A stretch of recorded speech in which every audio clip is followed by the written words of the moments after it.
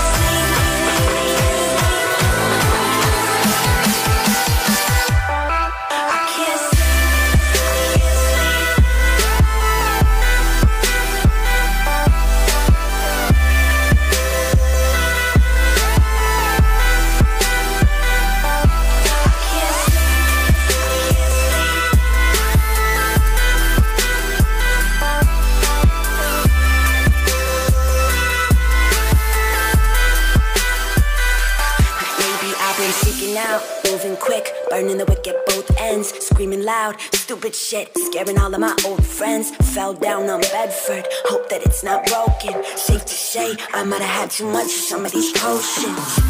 I love you so much, I'm staying here all night. Don't wanna get up, I don't wanna stop, I don't wanna close my eyes.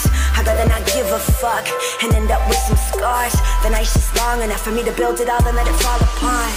My